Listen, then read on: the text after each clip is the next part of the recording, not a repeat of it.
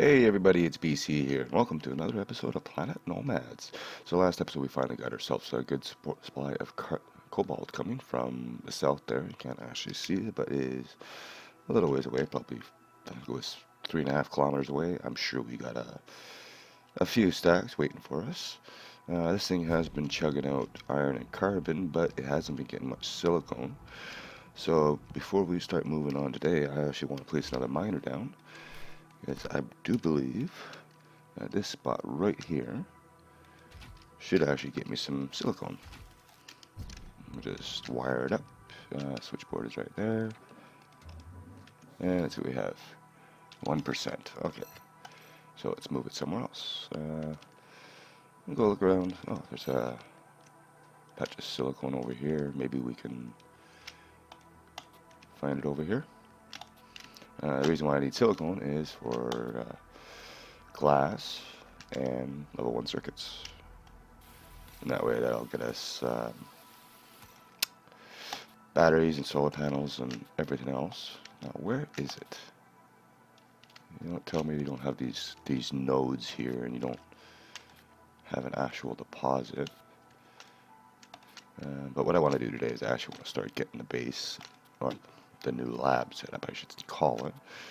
I have been do have an idea of what I want. Well, that's good. Uh, I'm gonna be keeping the mining wing over at this end, I think, just because. Right, I need silicone. Uh, I got a big patch right outside my front door, but I don't want to be putting the miner there. I want to try to keep them out of the way, and I think this might be it. Yes, it is. Looks like it anyways. Let's find out. That's a little blinding. Uh, where is my power? Uh, yeah, we're gonna need a couple of switchboards, I think. One there and one there. Yeah, it's okay. I have the technology and the resources, thankfully. Alright, we'll go hook this one up here. Oh, whatever. I gotta connect this one anyways. So we'll go there there, and what do we get? Ah, that's what I'm looking for. Alright, uh, do we need the extra extra carbon? I think I do, actually. So we'll throw a couple containers on here. Uh, once I get the lab set up, I am going to have a, you know, a production room where all the stuff is going to be piped to. And we will go from there. Uh, three, four, and five. I'm pretty sure the power should hold up. We don't need that 1% iron. We've got more than enough of it. Alright, so we got some silicone coming in. And we have our iron coming in, we have our carbon coming in, we got our cobalt and aluminum. I still gotta go out there and uh, get the other miners set up for the, the silver. But, what I want to do is I'm actually gonna start laying out the, the first floor of the, the base here. Hmm, lab base, whatever. So I'm gonna gonna start with the bottom being it was it's either gonna be a T section or maybe even a, a sort of like a cross where it's gonna be multiple rooms connected with corridors. So it's gonna be like the main reception area. Um, for the sake of how wide the hallways are going to be, I'm going to have to move the entire building over this way, two blocks, and extend it a little bit on the side so I can move the door. And the reason being is this block or this tile and this tile is the width that you need to have like a door and the wall sections. So it's actually technically eight blocks. But yeah, we'll have the main main area we come in here. We'll probably have the sleep chamber and maybe a few other things. And We'll go through to, to a hallway to a main main hub, which may lead to a tower. And when I say may, I mean more than likely. Uh, on the left side, we'll have our production. Uh, the right side, I haven't figured it out yet. We'll go as we could go and move on there. And I missed a tile. Oh well. So, uh, yeah, let's uh, start by moving this thing. I gotta get my blocks ready. I did make some batteries too for this tool, so it should be a lot faster building stuff. Well, yeah, so I'm going to move this out. I think I got to move one more tile, and then I got to line up this corner right here with this seam, and then that's it's going to make it so I don't have any overhang, and I might do something with the roofs too. I was actually thinking about using uh, armor slopes, sort of get like a like an overhang or something. You can either go with that, or we can go with that. Maybe you try to get like a proper looking roof on it. But anyways, uh, let me let me do some house moving. Alright, so I've got it moved over a little bit. I've got it widened too. I was trying to figure out what I'm going to do with the color, and I haven't really decided yet. Like, I almost want to keep the floor black on the inside, but I'm thinking black floor, white building. Uh, outside, we're going to have a little, a little bit of a display area, maybe a little courtyard, whatever. Uh, it's mainly just because I want to hide that hole I left there. Uh, but yeah, anyways, I'm gonna just finishing up the roof here. Uh, one of the things I've noticed is this, they've changed the Mark IV tool because you can continuously use it and it does not use any suit power whatsoever, except for the initial startup. So theoretically, you don't actually need batteries for this. Now that I've said it and brought it up in a video, I'm sure it's going to get changed. Uh, there we go. So now for our corridors, the first one. Uh, I haven't I haven't finished this in yet because I didn't know what I was going to do, but let's go ahead and... Why did you start that way? Alright, so we'll do one... Yeah, do it. Hmm, this is going to be interesting because I got to get those inner wall sections in too. Uh, which is... The inner corner, sorry. Inner corner. Six. And why do you start that way? Which way is the top? That's the top right there. But basically what I need is I need this to line up there. Ooh, that's way off. Alright, let's try this again. That's too far over. Is it? One, two, three. Ah, that'll work. I'm gonna figure something out with the the ceiling possibly. Wait, wait a minute. Is it really eight? Oh, I guess it is. Let's fill this in and see how it looks. Just quickly here. Then we'll start getting a floor plan laid out.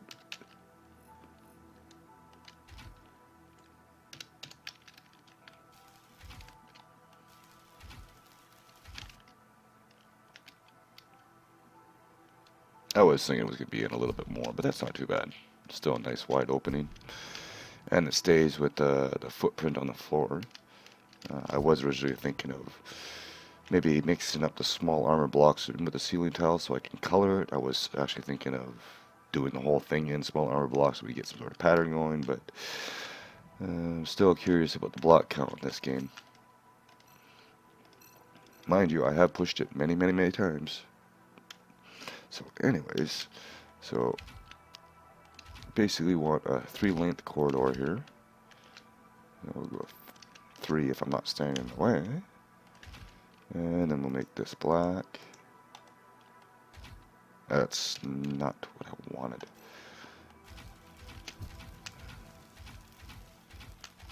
Okay, and then so it's gonna be one, two, three wall sections go back to our ceiling tile and then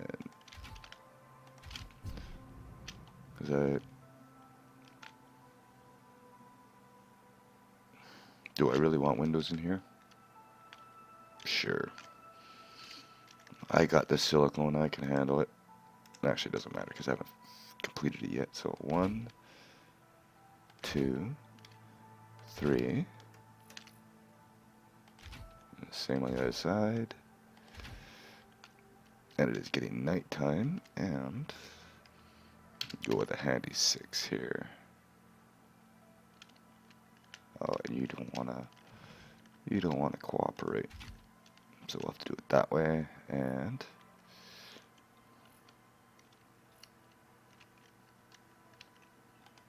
like so. change to white.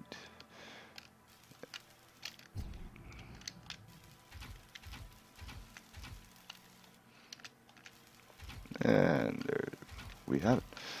So the next thing I'm going to do is get the right color for one. Uh, I'm going to go ahead and lay out the main hub, get a few more rooms connected, and I'll bring you back when I'm done. Alright, so here's what I got. That's our, our front room here. We come in here to the, the main hub.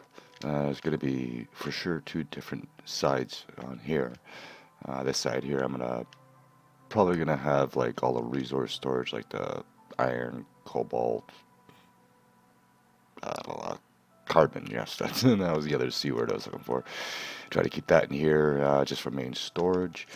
Uh, printers, I don't know, I might keep the printers out on the floor here. Uh, we will have conveyors set up. Uh, uh, a lot of people have been talking about trying to get conveyors to go through like conveyor ports on floors.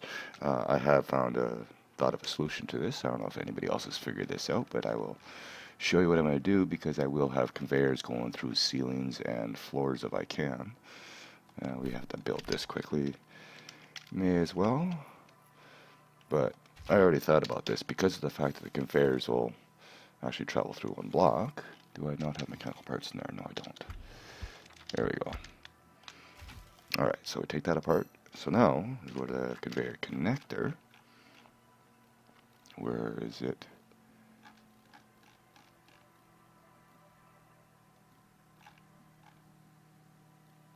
I do not see it because I'm not looking hard enough. There it is.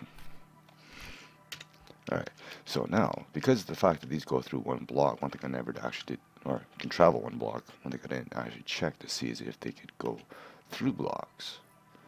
Wow, look at the size of my base already, 226 tons. Oh, you won't connect there. Alright, well let's try something here. We must do a little bit of mid-building experimentation. And I will need a straight for that, so let's go with uh, go to the straight, couple of elbows, which is seven.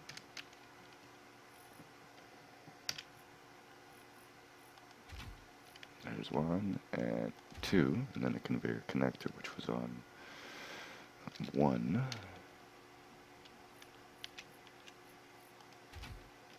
Now I'll go and finish these up. Quantum, oh my god, those things are expensive.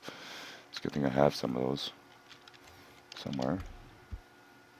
I have three, so I gotta make one more unless I got one in my little stash here, which is slowly running thin. Alright, well, I'm gonna make one more of those, so we'll craft that. So we actually have a use for Zanite now, which is good. So now, I'm going to do the same thing on the other side, make that little U-joint. This is just for testing purposes. Okay. So I had to make sure I got on the right spot here. Because I'm pretty sure this is going to travel through walls. Alright, so we go back to an 8. Uh, hit the right button, of course. 8. 7. And then finish this up and I should have enough that quantum electronics. Should be done.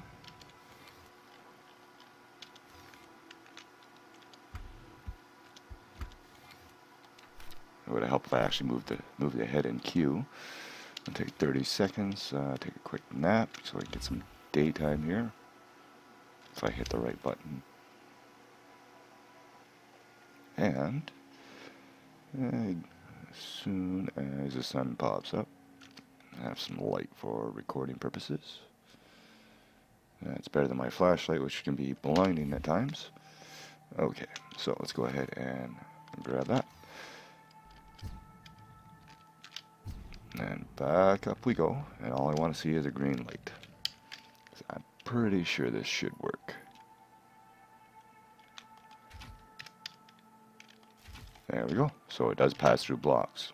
So that is going to be that is going to be our uh, connector going through the floor, or conveyor. Okay, so now we're going to go ahead and lay out some stuff for the next couple of rooms here. Uh, so this side, like I said, is going to be for printing and stuff like that. Just gonna be main storage. I might just be small containers.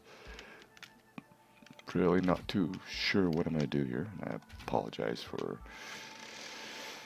uh, any hiccups or anything like that coming out of me. Uh, okay, go do a six by six. And one thing I like about the new center of mass too is when you're not actually connected to something, you get the second center of mass, so you know it's not actually connected to the block, which comes in really handy. Especially when I do stuff like that too many times. That's not it. Alright. So, yeah, it's going to be a 6 by 6 on this side. Uh, the other side over there is going to be where I where the food and drink machine is, uh, where the greenhouse is going to be. I haven't decided if it's going to be like uh, a patio setup or like a half room with a patio just for where the greenhouses are going to be.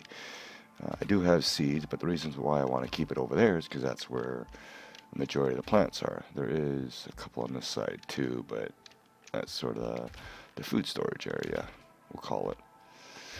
So I am gonna go ahead and get these two done. Oh yeah, I'll explain about this too. I didn't actually mention. Um, this main area here is going to be two levels high, where the other rooms are just going to be single level. Uh, there will be no windows up top here, but there'll be another level up top where we're going to have probably our ma my main storage and yeah, maybe we'll get some other things going on up there too. Uh, so, but what I was going to do is going to have staircases probably in all four corners going up all the way to the second floor. We'll see how well that works. I might even just have it go up here and turn and then just keep going straight up because the stairs they only go half height as you can see they don't go all the way up so yeah let me uh, get all this filled in and I'll bring you back when I got this all done okay so I do have a bit of a floor plan set up uh, so we're going to start with the main reception area here. Uh, I'm sort of trying to color code the floors too. And maybe the main front end here will keep the floor white. Let's quickly change this and I'll show you what I've done with the rest of it. I have sort of planned for future additions and improvements and whatnot and uh, I will show you those in a second here let's just go ahead and finish this up. And I realize holding it down is actually quicker than constantly tapping it because the uh, the animation the gun does. So we'll do that. Alright, it's a little dark in here. I gotta get some lights going in. So we get our main hall here. To the left is going to be the printers. The printers and... No, no, the, this is going to be the main ore storage. I've got the floor orange in here, even though it looks more like a uh, we won't even get to the color of that one. But as you can see, I got a conveyor in the wall that's going to allow me to hook up to the miners outside, which just over there. I got this one here for the iron and carbon, and I got that one over there for the silicone, which is there.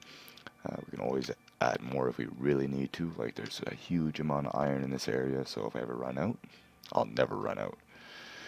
And then we go down into here, and I decided I was going to make this the power room, because I will be getting a deuterium generator running up and running, you know, the, the big guy.